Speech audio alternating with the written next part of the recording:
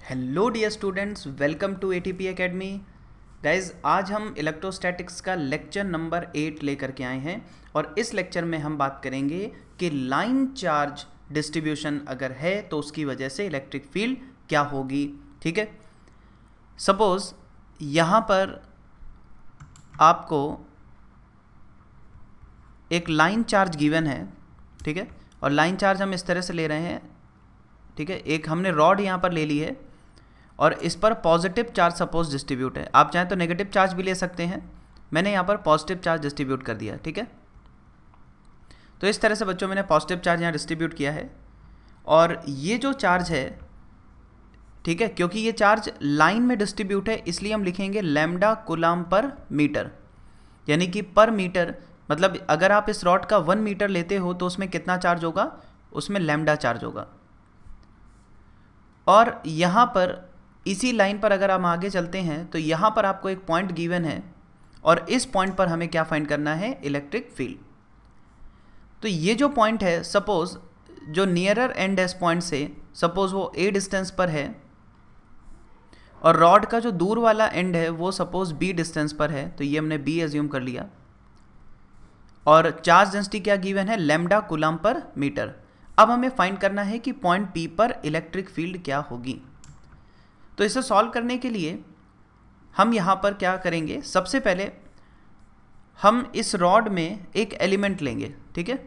देखिए क्या तरीका है इसको सॉल्व करने का कि सबसे पहले आप ये रॉड यहाँ पर लेंगे और आपको पता है कि पॉइंट पी यहाँ पर कहीं है। तो आप एक काम कर सकते हैं कि पॉइंट पी से डिस्टेंस एक्स पर, या आप अपनी तरफ़ से कोई भी डिस्टेंस ले लें। मैंने पॉइंट पी से डिस्टेंस एक्स पर एक छोटा सा एलिमेंट यहाँ पर कट कर लिया। एलिमेंट इतना छोटा होना चाहिए कि आप उसे पॉइंट चार्ज एज्यूम कर सको। तो बच्चों, यहाँ पर जो इसकी थिकनेस है, जो लेंथ है इसकी, वो डीएक्स हो जाएगी। क्योंकि x डिस्टेंस पर आप स्मॉल एलिमेंट लोगे तो उसकी थिकनेस कितनी होगी? डीएक्स होगी। तो अब हम क्या करेंगे? इस डी एलिमेंट की वजह से पॉइंट पी पर इलेक्ट्रिक फ़ील्ड कैलकुलेट करेंगे। अब देखिए, ये जो डी एलिमेंट है, इतना इसमें चार्ज कितना होगा? सबसे पहले तो ये इंपॉर्टेंट पॉइंट है, चार्ज कितना होगा? तो हमें ये पता है कि यूनिट लेंथ में कितना चार्ज है? लेमडा तो डी लेंथ में कितना चार्ज होगा? लेमडा इंटू डी है ना? सिंपली मल्टीप्लाई कर देंगे। तो यूनिट लेंथ में लेमडा चार्ज है तो डी लेंथ में हो गया लेमडा इंटू डी अब इस चार्ज की वजह से हमें यहाँ पर फ़ील्ड फाइंड करनी है। तो आप जानते हैं क्योंकि ये पॉजिटिव चार्ज है तो फ़ील्ड की डायरेक्शन क्या होगी? अवे फ्रॉम पॉजिटिव चार्ज मैंने इसको यहाँ पर डी ई एज्यूम कर लिया। अब हम यहाँ पर डी ई लिख सकते हैं। तो जो डी ई होगा वो कितना होगा? इस पॉइंट चार्ज की वजह से यहाँ पर इलेक्ट्रिक फ़ील्ड आप लिखोगे के small charge D Q divided by distance कितनी है एक्स उसका स्क्वायर कर देंगे। अब हम के की वैल्यू यहाँ रख दें। के कितना होता है? One upon four pi epsilon naught D Q कितना है अपने पास? Lambda into D x divided by distance यहाँ पर एक्स है तो ये हो गया एक्स स्क्वायर ठीक है? तो ये डी ई की वैल्यू आ गई। अब क्योंकि हमें टोटल इलेक्ट्रिक फ़ील्ड फाइंड करनी है नेट इलेक्ट्रिक फ़ील्ड फाइंड करनी है तो आपको करना क्या होगा? देखो, आपने एलिमेंट कहाँ पर लिया था? एक्स डिस्टेंस पर। अब आप जानते हैं कि रॉड स्टार्ट कहाँ से हो रही है? डिस्टेंस ए से। भाई रॉड कहाँ से स्टार्ट हो रही है? पॉइंट पी से डिस्टेंस ए पर रॉड स्टार्ट होती है। और एंड कहाँ पर हो रही है? डिस्टेंस बी पर एंड हो रही है। यानी कि अगर मैं ए से लेके बी तक के सभी एलिमेंट कवर करूँ तो नेट इलेक्ट्रिक फ़ील्ड मुझे क्या लिखनी चाहिए? नेट इलेक्ट्रिक फ़ील्ड होगी। इंटीग्रेशन ऑफ़ डी ई, ठीक है, इंटीग्रेशन ऑफ़ डी ई, और कहाँ से कहाँ तक इंटीग्रेट करेंगे? बताइए एक्स की किस वैल्यू पर रॉड स्टार्ट हुई है? तो आप कहेंगे एक्स इक्वल टू ए पर रॉड स्टार्ट हो रही है। तो एक्स इक्वल टू ए पर रॉड स्टार्ट हुई है, यानी पहला एलिमेंट आपको यहाँ पर मिलेगा, और लास्ट एलिमेंट आपको यहाँ पर मिलेगा, यानी एक्स इक्वल टू बी तक इसको इंटीग्रेट करना होगा। अब देखिए डी ई कितना था अपने पास? One upon four pi epsilon naught यहाँ पर हो गया lambda D x divided by x square और लिमिट आप यहाँ पर लिखेंगे x is equal to A to x is equal to B अब इसमें जो भी कॉमन आपको दिख रहा है, जो भी कांस्टेंट है, वो इंटीग्रेशन के बाहर आ जाएगा। तो lambda upon four pi epsilon naught ये तो इंटीग्रेशन के बाहर आ गया। इंटीग्रेशन के अंदर क्या बचा? D x upon x square और लिमिट कहाँ से कहाँ होगी? X equal to A to x is equal to B अब बच्चों, हमें पता है कि वन अपॉन एक्स स्क्वायर का जो इंटीग्रेशन होगा वो होगा माइनस वन अपॉन एक्स तो आप इसको लिख सकते हैं lambda by four pi epsilon naught, minus sign आप बाहर कर लें, और वन अपॉन एक्स में लिमिट लगा देंगे, ठीक है, ए टू बी।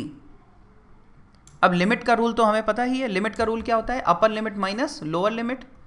तो ये अपने पास आ जाएगा lambda upon four pi epsilon naught with minus sign.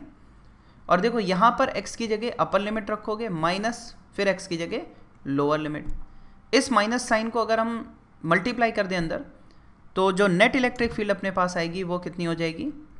Lambda upon four pi epsilon naught minus अंदर चला गया तो one upon A minus one upon B तो बच्चों, आपने देखा किस तरीके से हमने नेट इलेक्ट्रिक फ़ील्ड फाइंड किया है? और ये जो रिज़ल्ट है, आप इसको डायरेक्ट भी याद रखें कि जो नेट इलेक्ट्रिक फ़ील्ड अपने पास आ रही है, वो कितनी आ रही है? Lambda upon four epsilon naught bracket में क्या है? वन अपॉन ए एक यहाँ पर कौन सी डिस्टेंस है? जो पास वाली डिस्टेंस है नियरर एंड तक की डिस्टेंस क्या है? A minus one upon B B कहाँ तक की डिस्टेंस है? दूर वाले एंड तक की डिस्टेंस है।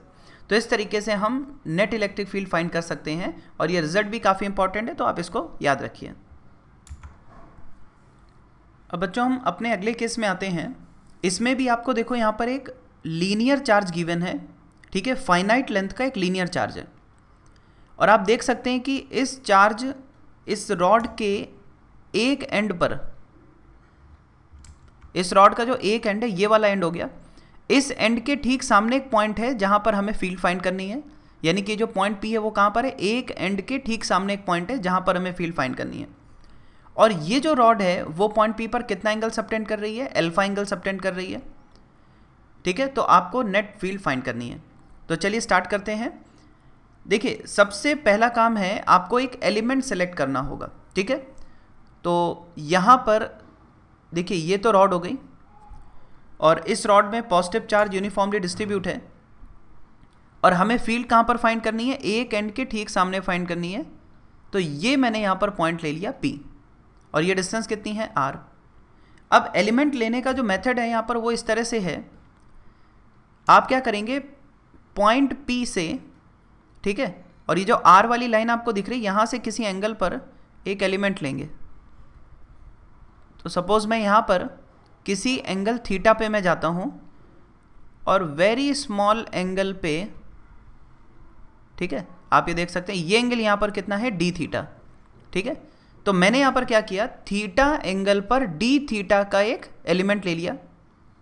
ये एंगल कितना है थीटा है और जो थिकनेस है इसकी वो कितनी डी थीटा तो ये वाला जो एलिमेंट आपको दिख रहा है यहाँ से लेके यहाँ तक का, ठीक है, इस एलिमेंट की जो एंगुलर थिकनेस है वो कितनी है? डी थीटा अब देखिए, आपको करना ये है, सबसे पहले तो चार्ज फाइंड करना है कितना होगा। इसके लिए आप एक काम करेंगे, बच्चों, ये वाली लेंथ कितनी होगी? सबसे पहले इस पर काम करो, ये लेंथ कितनी होगी? सपोज़ ये वाई है, अगर मैं इसको वाई एज्यूम कर लूँ तो ये वाली जो थिकनेस है वो कितनी हो जाएगी? डी वाई हो जाएगी। ठीक है? भाई वाई है तो ये डी वाई होगा। वाई पर डी वाई जैसे थीटा के सामने वाई है तो डी थीटा के सामने क्या होगा? डी वाई होगा। फ़र्स्ट ऑफ़ ऑल हम कैलकुलेट करेंगे वाई कितना है। तो वाई के लिए आप यहाँ टेन थीटा यूज़ कर सकते हो। जो टेन थीटा होता है, वो क्या होता है? परपेंडिकुलर डिवाइडेड बाय बेस यानी कि वाई अपॉन आर तो यहाँ से जो वाई हो गया, वो कितना आ गया? आर टेन थीटा ठीक है? वाई की वैल्यू आ गई आर टेन थीटा तो यहाँ से अगर मैं डी वाई कैलकुलेट करूँ तो डी वाई कितना होगा? आर टेन थीटा का डिफ्रेंसिएशन क्या होता है? Sec square theta D theta ठीक है? भाई वाई आपके पास आ रहा है आर टेन थीटा तो डी वाई कितना हो जाएगा? आर तो कांस्टेंट है, और टेन थीटा का डिफ्रेंसिएशन होगा sec square theta D theta तो हमने लिख लिया D Y equal to R sec square theta D theta अब बच्चों, ये जो डी वाई का एलिमेंट है, इसकी वजह से ये देखो पॉइंट पी कितनी डिस्टेंस पर है। तो ये वाली जो डिस्टेंस है, आप इसे कैलकुलेट कर लो। आप इसको थोड़ी देर के लिए जेड एज्यूम कर लो। जेड निकालने के लिए हम क्या कर सकते हैं? जेड फाइंड करने के लिए आप यहाँ पर कॉस थीटा यूज़ कर लो। जो कॉस थीटा होगा, क्या होगा? बेस डिवाइडेड बाय हाइपोटेन्यूस तो यहाँ पर जेड आपको मिल जाएगा R divided by cos theta और आर अपॉन कॉस थीटा को हम क्या लिख सकते हैं? आर सेक थीटा तो जेड की वैल्यू भी आ गई। ठीक है? अब देखो, अब अपने पास यहाँ पर क्या है? अब मैं कह सकता हूँ कि अपने पास एक एलिमेंट है, बहुत छोटा सा एक एलिमेंट है, ठीक है? जिसकी लेंथ कितनी है? डी वाई है। और यहाँ से कितनी डिस्टेंस पर पॉइंट पी है? तो आप ये कहोगे, यहाँ से जो पॉइंट पी है, वो यहाँ पर कहीं है, कितनी डिस्टेंस पर है? जेड डिस्टेंस पर है, ठीक है? और ये वाला जो एंगल है यहाँ पर वो कितना है? थीटा अब बच्चों, क्या आप ये मुझे बता सकते हो कि चार्ज कितना होगा इस पर? तो आप ये जानते हो कि यूनिट लेंथ में कितना चार्ज है? लेमडा तो डी वाई लेंथ में कितना चार्ज होगा? लेमडा इंटू डी वाई यानी कि जो डी क्यू होगा, वो होगा यूनिट लेंथ में charge into length D Y ठीक है? ये तो डी क्यू मिल जाएगा। अब आप क्या करें? इस डी क्यू की वजह से यहाँ पर इलेक्ट्रिक फ़ील्ड कैलकुलेट करें। तो आपको पता है ये पॉजिटिव चार्ज है तो पॉजिटिव चार्ज की वजह से जो फ़ील्ड होगी वो कैसी होगी? अवे फ्रॉम पॉजिटिव चार्ज तो इसे मैं लिख लेता हूँ डी ई ठीक है? ये तो हो गया डी ई लेकिन अगर आप देखें तो ये जो डी ई है, इसके आपको यहाँ पर दो कंपोनेंट्स मिलेंगे, क्योंकि ये वाला एंगल कितना हो जाएगा? थीटा तो इस डी ई के दो कंपोनेंट मिलेंगे। पहला इस डायरेक्शन में आएगा, जो कि होगा डी ई कॉस थीटा और एक होगा वायर के पैरेलल डायरेक्शन में, वो होगा डी ई साइन थीटा तो इस तरह से आप कंपोनेंट कर लें। और बच्चों, यहाँ पर मैं दो डायरेक्शंस ले लेता हूँ। ये वाली डायरेक्शन में एक्स अज्यूम कर लेता हूँ, ये वाली डायरेक्शन में वाई ले लेता हूँ, ठीक है? तो सबसे पहले मैं एक्स डायरेक्शन में फ़ील्ड लिखूँगा। आप चाहें तो पहले डीई की वैल्यू कैलकुलेट कर लें ना? तो डीई कितना होगा? बताओ, इस डी क्यू की वजह से पॉइंट पी पर इलेक्ट्रिक फ़ील्ड क्या होगी? के चार्ज है D Q divided by Z square अब आप इसमें वैल्यूज़ पुट कर दें। तो के अपने पास कितना होता है? One upon four pi epsilon naught. इसके बाद डी क्यू पुट करेंगे? डी क्यू क्या था? लेमडा इंटू डी वाई और बच्चों डी वाई क्या है? R sec square theta R sec square theta D theta ठीक है? तो ये अपने पास क्या आ गया? डी वाई इंटू लेमडा यानी चार्ज हो गया। डिवाइडेड बाय जेड स्क्वायर और बच्चों, z क्या था? आर सेक थीटा था। तो नीचे भी क्या आ जाएगा? R square sec square theta क्योंकि स्क्वायर करना है आपको। अब आप देख सकते हो सेक स्क्वायर थीटा से सेक स्क्वायर थीटा कैंसिल हो जाएगा। तो जो अपने पास डी ई की वैल्यू आएगी, वो कितनी आएगी? Lambda upon four pi epsilon naught एक आर से एक आर चला गया, एक आर नीचे बचेगा। और ऊपर अगर आप देखें तो डी थीटा रह जाएगा, ठीक है? तो इतना टर्म आपके पास बचेगा सेक स्क्वायर थीटा कैंसिल हो जाएगा। तो बच्चों, अपने पास डी ई आ चुका है यानी कि स्मॉल एलिमेंट ने कितना फ़ील्ड प्रोड्यूस किया है? Lambda upon four pi epsilon naught D D theta upon R और आप जानते हो कि इस डीई के दो कंपोनेंट्स हैं। एक है डी ई थीटा और दूसरा है डी ई साइन थीटा तो हम इंडिविजुअली दोनों कैलकुलेट करेंगे। तो चलिए सबसे पहले कैलकुलेट करते हैं। डी ई थीटा अगर डी ई थीटा को इंटीग्रेट करोगे तो आपको क्या मिल जाएगा? एक्स डायरेक्शन में नेट इलेक्ट्रिक फ़ील्ड और इसी तरह से अगर आपको वाई डायरेक्शन में नेट फ़ील्ड चाहिए तो ये हो जाएगी डी ई साइन थीटा का इंटीग्रेशन और बच्चों लिमिट अगर देखें तो आप जानते हैं कि लिमिट कहाँ से कहोगे देखो थीटा इक्वल टू ज़ीरो करोगे तो आप इस एंड पर आ जाओगे और थीटा इक्वल टू एल्फा करोगे तो इस एंड पर आ जाओगे. यानी कि लिमिट जो लगेगी, वो अपनी कहाँ से कहाँ तक लगेगी? Theta is equal to zero to theta is equal to alpha similarly यहाँ पर ज़ीरो टू एल्फा अब ये दोनों आपको सॉल्व करने हैं सॉल्व करके देखेंगे क्या रिज़ल्ट आता है। तो चलिए वैल्यू इसमें पुट करते हैं। देखिए डी ई की वैल्यू सबसे पहले ई एक्स निकालना अपने को तो ई एक्स क्या हो जाएगा? इंटीग्रेशन अब आप डी ई की वैल्यू रख दो। Lambda upon four pi epsilon naught R क्या लिखा हुआ है? कॉस थीटा और यहाँ पर क्या है? डी थीटा और लिमिट की अगर हम बात करें तो लिमिट कहाँ से कहाँ तक है? ज़ीरो टू एल्फा ठीक है? ज़ीरो टू अल्फ़ा तो यहाँ पर अल्फ़ा लिख लेंगे, ज़ीरो टू अल्फ़ा। अब सबसे पहले ऐसे कैलकुलेट करते हैं तो देखो, जो lambda upon four pi epsilon naught है, ये तो कांस्टेंट है। तो ये कांस्टेंट है तो ये तो इंटीग्रेशन के बाहर आ जाएगा। तो ये हो जाएगा lambda upon four pi epsilon naught R. और बच्चों, कॉस थीटा का इंटीग्रेशन क्या होगा? कॉस थीटा का इंटीग्रेशन हो जाएगा साइन थीटा। और लिमिट आप लगा दें यहाँ पर, ज़ीरो टू एल्फ़ा ठीक है? और इसको अगर हम फर्दर सॉल्व करते हैं तो ये अपने को मिल जाएगा। Upper limit minus lower limit होगा। तो lambda upon four pi epsilon naught R ये अपने पास आ जाएगा। Sine alpha minus sine zero कितना होगा? ज़ीरो तो ये तो एक्स डायरेक्शन में फ़ील्ड आ गई। रिज़ल्ट काफ़ी इंपॉर्टेंट है। तो एक्स डायरेक्शन में फ़ील्ड क्या आ रही है? Lambda upon four pi epsilon naught R into sine alpha अब बच्चों, इसी तरह वाई डायरेक्शन में हम कैलकुलेट करते हैं। वाई डायरेक्शन में कैलकुलेट करने के लिए, बताइए ई e वाई कितना हो जाएगा? ई e वाई निकालना है तो डी ई पुट कर दो यहाँ पर। डी ई e कितना है? Lambda upon four pi epsilon naught R sine theta साथ में लिखा हुआ है डी थीटा और आ जाएगा, और लिमिट आप लगाएँगे ज़ीरो टू एल्फा अब जो कांस्टेंट है उसको बाहर कर लेंगे। कांस्टेंट है अपना lambda upon four pi epsilon naught R sine theta का इंटीग्रेशन होता है, बच्चों माइनस कॉस थीटा तो माइनस यहाँ पर आ गया। ये हो गया कॉस थीटा लिमिट आप लगा दे ज़ीरो टू एल्फा जब बच्चों इसको सॉल्व करोगे तो ये आएगा cos alpha minus cos zero और माइनस साइन अंदर अगर मल्टीप्लाई कर दें तो ये बन जाएगा cos zero minus cos alpha और कॉस ज़ीरो कितना होता है? वन माइनस यहाँ पर क्या आ जाएगा? कॉस एल्फा तो ये आपको मिल जाएगा वाई डायरेक्शन में नेट इलेक्ट्रिक फ़ील्ड ठीक है? वाई डायरेक्शन में नेट इलेक्ट्रिक फ़ील्ड आ गई। इस तरह से और एक्स डायरेक्शन में नेट इलेक्ट्रिक फ़ील्ड आ गई। अब मैं ये दोनों फार्मूले एक बार लिख देता हूँ, आप इसको अच्छे से देख लें, समझ लें।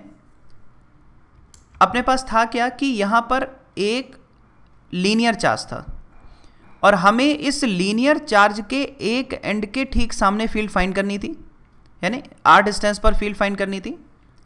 तो बच्चों, यहाँ पर हमने देखा कि जैसे पॉजिटिव चार्ज है तो यहाँ पर दो कंपोनेंट आएँगे इलेक्ट्रिक फ़ील्ड के। एक कंपोनेंट होगा जो इस रॉड के पपेंडिकुलर होगा, सामने वाला, ठीक है? रॉड के पपेंडिकुलर होगा, ठीक है? यानी कि आप इसे बोल सकते हैं ई e पपेंडिकुलर ठीक है? और एक होगा रॉड के पैरेलल वाला। अब देखो पॉजिटिव चार्ज है तो रिपल करेगा मतलब अवे फ्रॉम पॉजिटिव चार्ज तो एक कंपोनेंट इस तरह से आएगा। इसको आप ई e पैरेलल बोल सकते हैं। तो जो ई e पपेंडिकुलर की वैल्यू आ रही है, वो कितनी आ रही है? Lambda upon four pi epsilon naught R sine alpha ठीक है? साइन अल्फ़ा मतलब जितना एंगल सबटेंड कर रहा है। और वहीं अगर हम दूसरा कंपोनेंट देखें तो ये आपके पास आ रहा है ई पैरेलल ई पैरेलल कितना आ रहा है?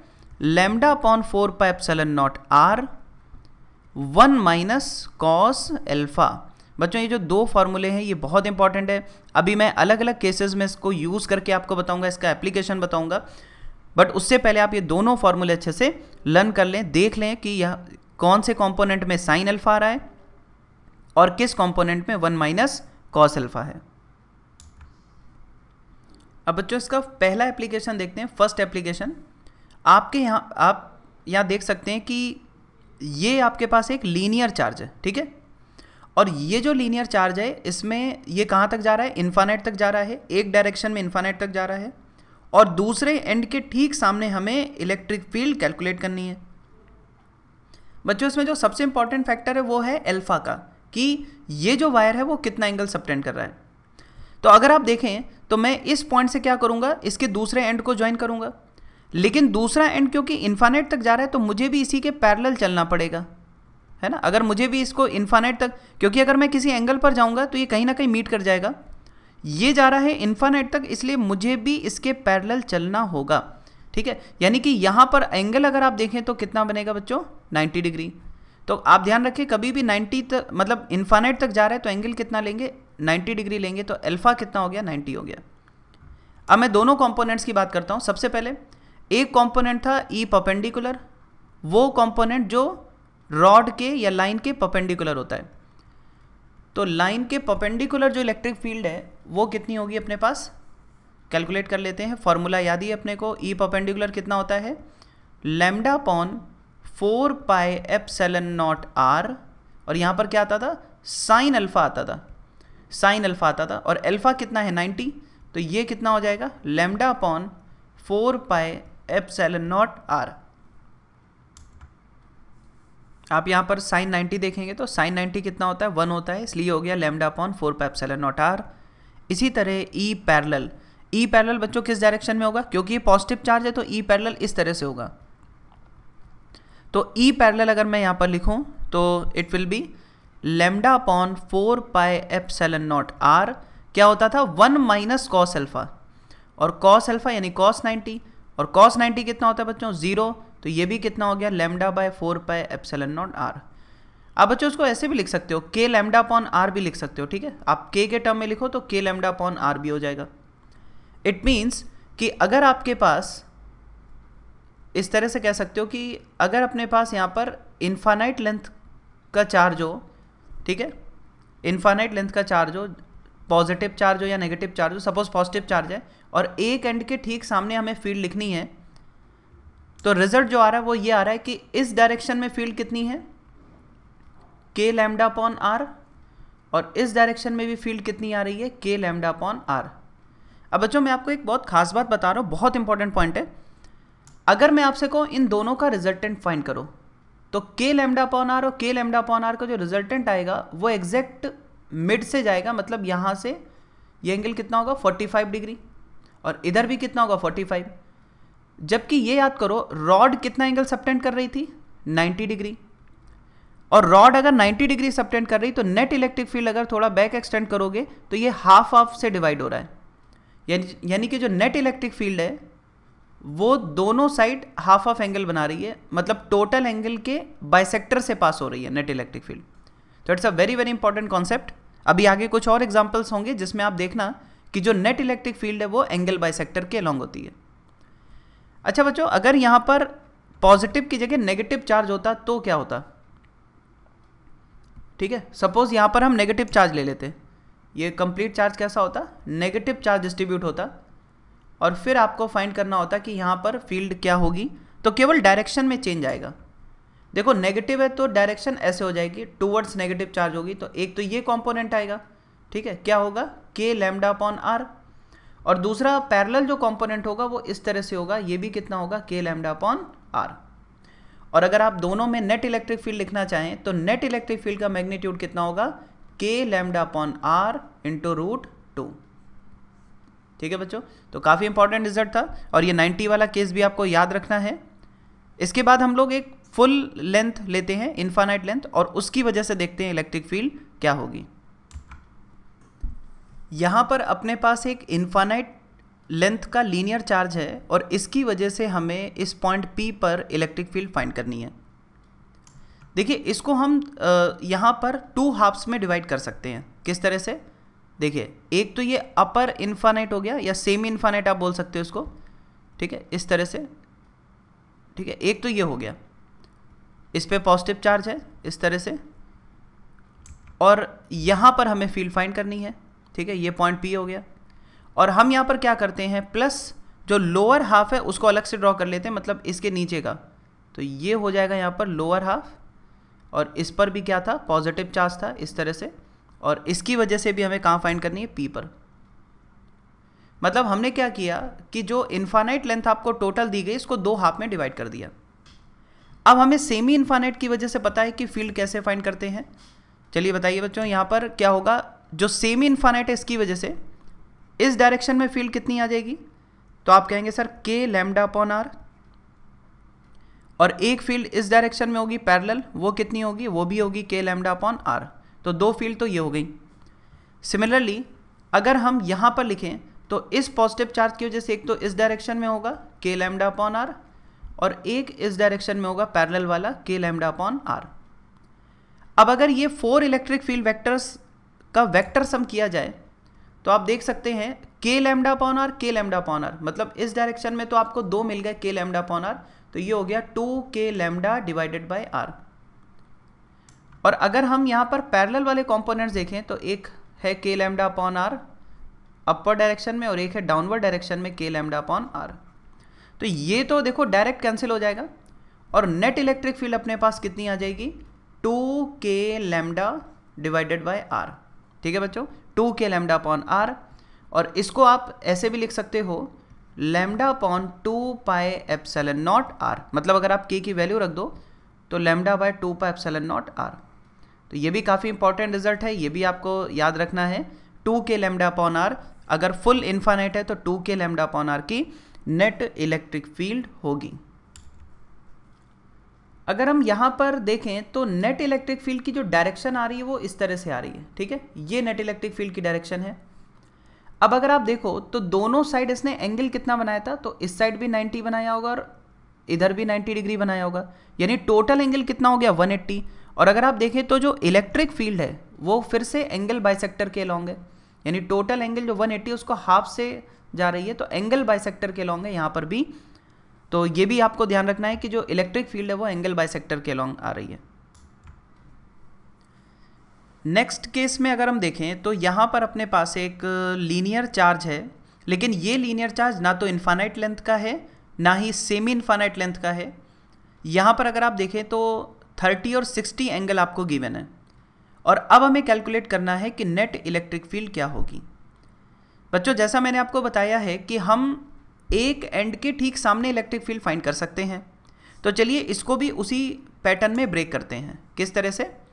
आप इसे ऐसे ब्रेक करें कि यहाँ पर अपर सेगमेंट ये हो गया, जिसकी वजह से इसके एक एंड के ठीक सामने हम फ़ील्ड फाइंड करेंगे।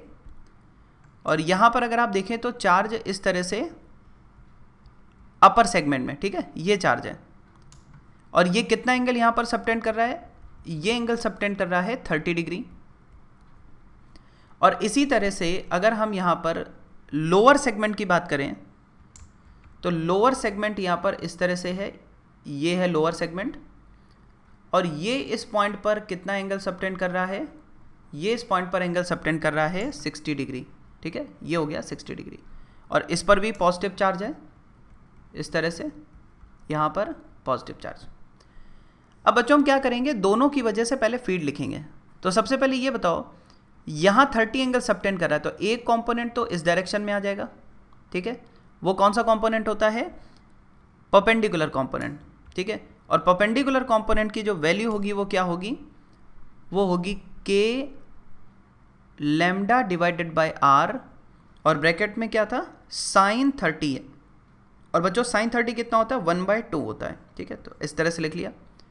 और एक कंपोनेंट होगा पैरेलल जो पैरेलल कंपोनेंट होगा, वो कितना हो जाएगा? वो हो जाएगा के लेमडा अपॉन आर और साथ में क्या था? वन माइनस कॉस थर्टी और बच्चों वन माइनस कॉस थर्टी मतलब one minus root three by two आ जाएगा, ठीक है? तो एक ये वाला कॉम्पोनेंट हो गया।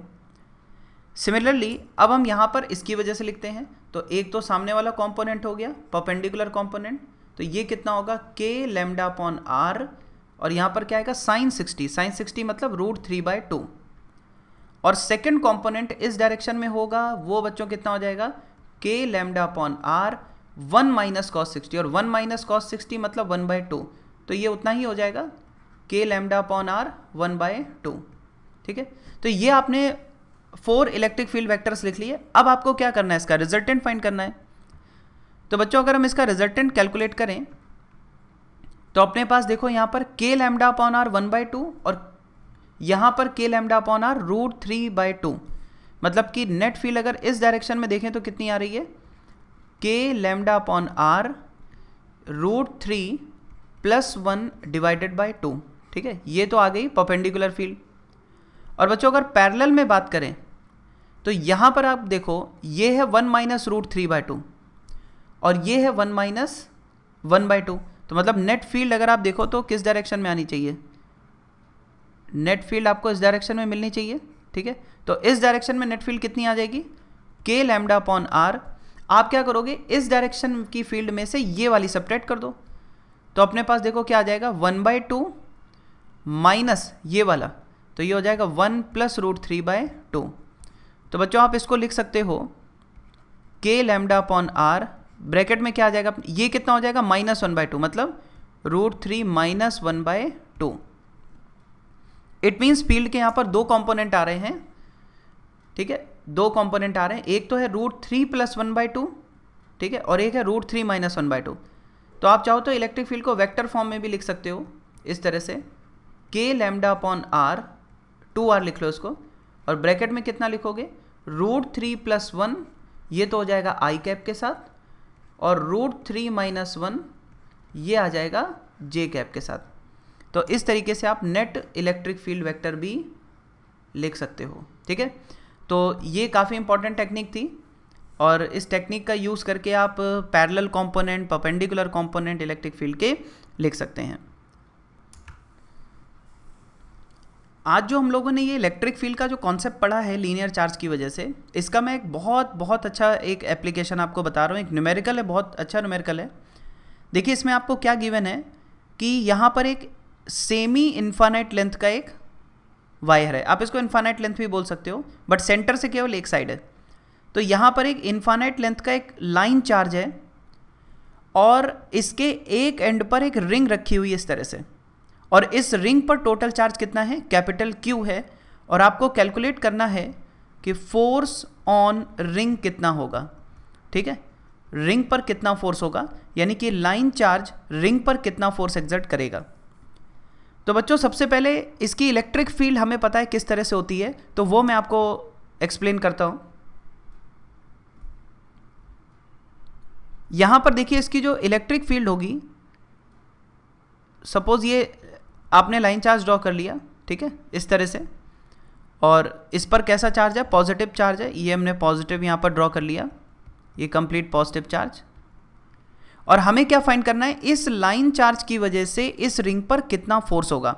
तो सबसे पहले आप एक काम करो, जहाँ रिंग रखी हुई है ना, उन सभी पॉइंट्स पर इलेक्ट्रिक फ़ील्ड देखो कैसी होनी चाहिए। तो मैंने एक यहाँ पर रिंग की लोकेशन पर इलेक्ट्रिक फ़ील्ड देखने के लिए मैंने एक रिंग शेप ड्रॉ कर लिया।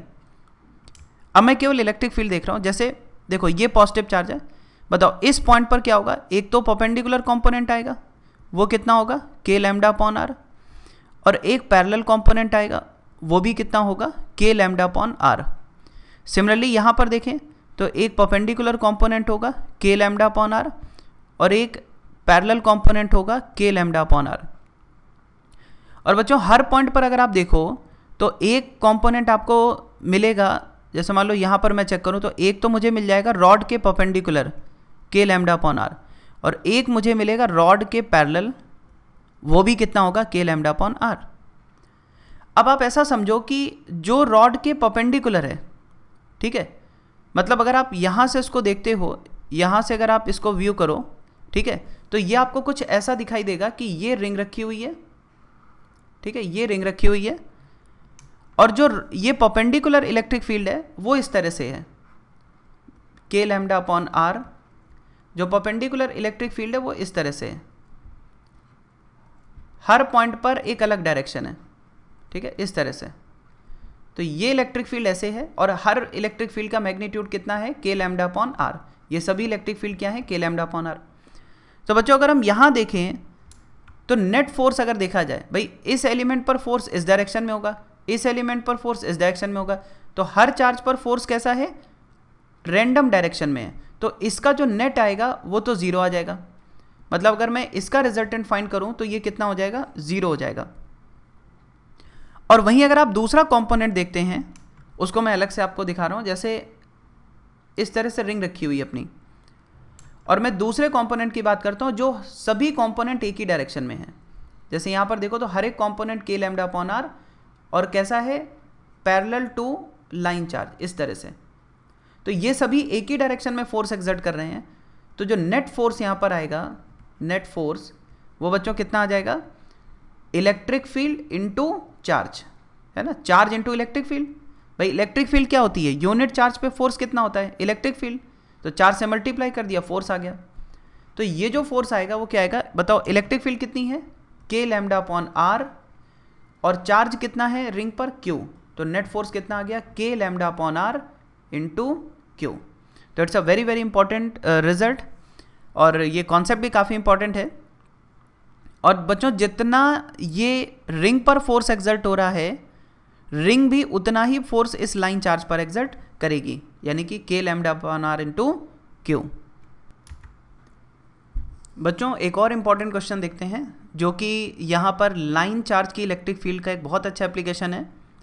यहाँ पर आपको एक इन्फानाइट लेंथ का लाइन चार्ज गिवन है, जिस पर चार्ज डेंसिटी कितनी है? लेमडा कोलम पर मीटर और यहाँ पर आपको एक पार्टिकल दिया गया है, जिस पर चार्ज है माइनस क्यू और ये पार्टिकल सर्कुलर पाथ पर रिवॉल्व कर रहा है, जिसकी रेडियस क्या है? कैपिटल आर तो आपको कैलकुलेट करना है कि ये पार्टिकल जिस स्पीड से रिवॉल्व कर रहा है, उस स्पीड की वैल्यू क्या होगी।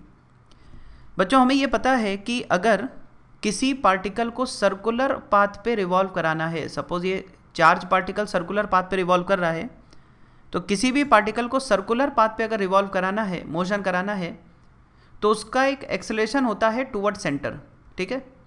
और टूवर्ड सेंटर जो एक्सलेशन होता है, वो क्या होता है? V square divided by R अब आप ये सोचो, इस एक्सेलरेशन के लिए क्या चाहिए हमें? फोर्स चाहिए, ठीक है? फोर्स चाहिए। और वो फोर्स कहाँ से मिलेगा? वो फोर्स मिलेगा हमें इलेक्ट्रोस्टैटिक फोर्स वो फोर्स क्या होगा? इलेक्ट्रोस्टैटिक फोर्स होगा। ठीक है? यानी कि यहाँ पर जब चार्ज पार्टिकल सर्कल पर रिवॉल्व कर रहा है तो सर्कल पर घूमने के लिए उसको एक एक्सलेशन चाहिए V square by R acceleration के लिए फोर्स चाहिए और फोर्स कहाँ से मिलेगा? इलेक्ट्रोस्टैटिक फोर्स से। तो हम यहाँ पर लिख सकते हैं force is equal to mass into acceleration अब जो मास एम है एक्सलेशन कितना है? वी स्क्वायर बाय आर अब बात आती है फोर्स क्या होगा? तो हमें पता है फोर्स क्या होगा? चार्ज कितना है? क्यू ठीक है चार्ज इस पर कितना है? वैसे तो माइनस क्यू है तो माइनस क्यू क्या करेगा? वो मैं आपको बताता हूँ। देखो, यहाँ पर अगर मैं चार्ज देखूँ रॉड पर तो रॉड पर कैसा चार्ज है? पॉजिटिव चार्ज है। और because of this positive charge जो इलेक्ट्रिक फ़ील्ड होगी, वो कैसी होगी? अवे फ्रॉम पॉजिटिव चार्ज ये इलेक्ट्रिक फ़ील्ड होगी।